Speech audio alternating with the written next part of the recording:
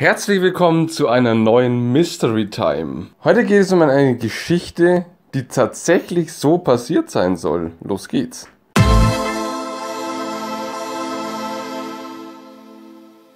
An einem Wintermontag, einem besonders kalten im Jahr 2005 oder 2006, war bei mir eine gute Freundin zu Besuch und dank meiner Mutter mussten wir noch einmal vor die Tür, da sie das Brot beim Einkaufen vergessen hatte.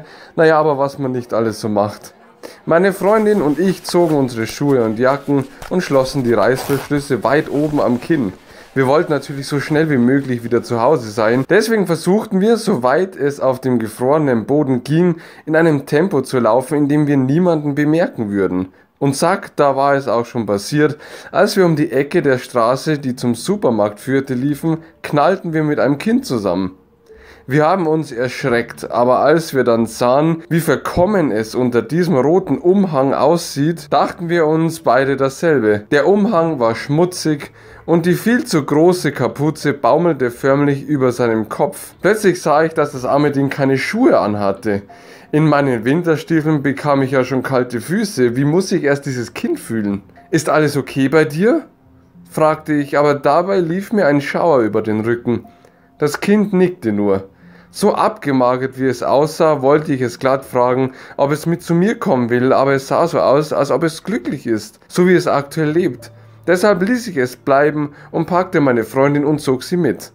Zügig liefen wir weiter, doch als ich mich umdrehte, sah ich, wie es auf dem Bürgersteig plötzlich lag und sich nicht rührte. Dann überkam mich Mitleid und wir liefen zurück. Als ich das Kind antippen wollte, spürte ich, der Umhang war leer.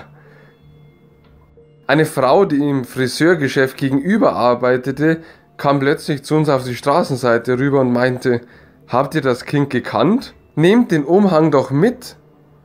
Ja, aber das Kind war doch gerade noch hier, erwiderte ich. Dann sagte die Friseuse etwas Unglaubliches. Das kann doch gar nicht sein, sagte sie. Hier ist das Kind vor einem Jahr überfahren worden. Wir sagten nichts und gingen weiter. Jetzt wussten wir, warum es nichts zu uns sagte. Es war schließlich schon tot. Krass, oder? Mit dieser Geschichte wünsche ich euch viel Spaß beim Nachdenken und bis zum nächsten Video. Ciao.